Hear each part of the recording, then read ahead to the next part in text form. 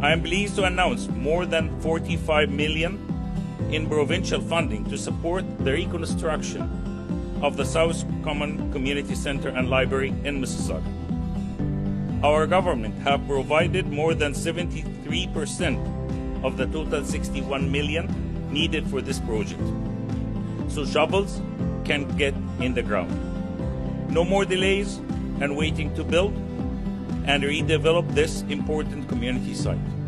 The South Common Community Center has been essential to the lives of many in our community, from our youth to our seniors and all in between. Projects like this one we are announcing today helps to protect families and our communities, making them stronger, healthier, and safer.